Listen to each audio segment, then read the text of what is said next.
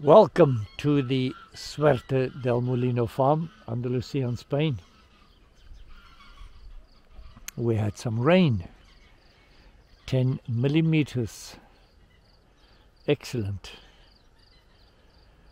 I'm especially delighted because of the planting of the sorghum and the indigenous wildflowers yesterday now they have received water.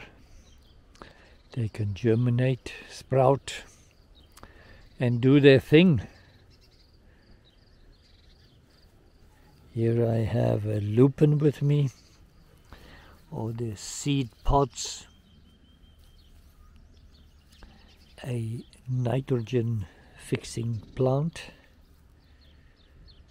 I want more of them.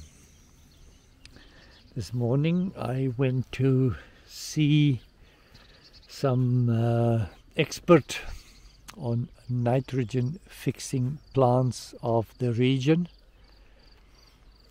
And uh, I found out there are two that grow actually very close to where I live two shrubs with beautiful yellow flowers and uh,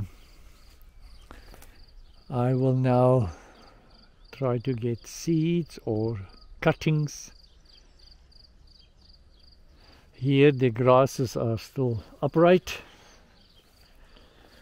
Other places they toppled over. It just depends on the type of grass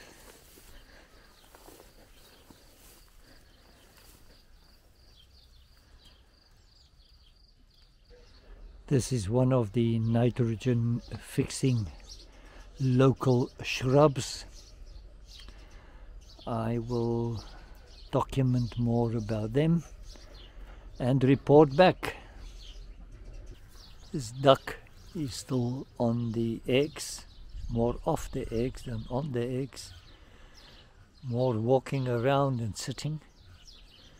So I don't know and this drake is a little bit strange with his uh, prehistoric outfit on. Look at his face. There are more chicks.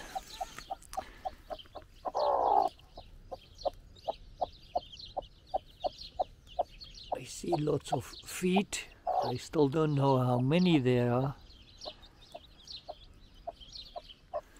Here at the top of the creek we have some inflow into the canal.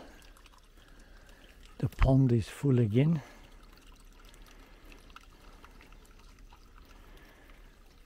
Amazing. Let's go and see the distribution pond in the east. Also um, some plant here, I must look up the name. It is also a legume crawling all over the place, fixing nitrogen. And more lupins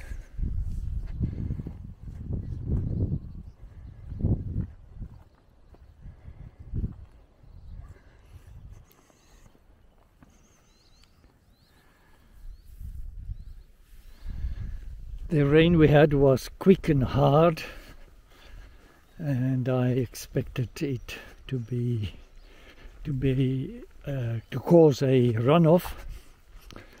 But uh, actually nothing at all. With other words the soil absorbed the water and uh, just shows me how it dried out after uh, what was it eight nine days without rain and sunshine. Okay looks like it's drizzling again. And wow look.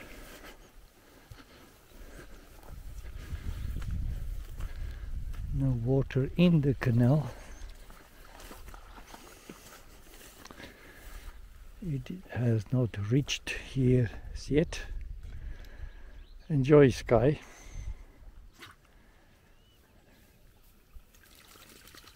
Okay I've opened there for a dog and water to go through.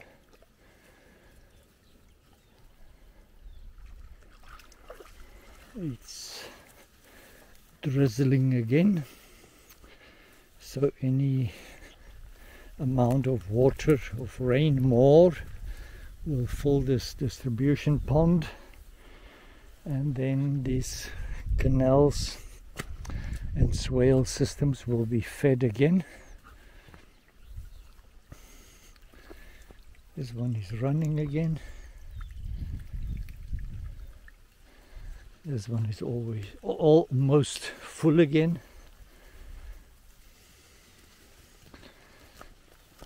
I just realized that this was a two meter by two meter uh, gully, an eyesore, and now it looks like the land.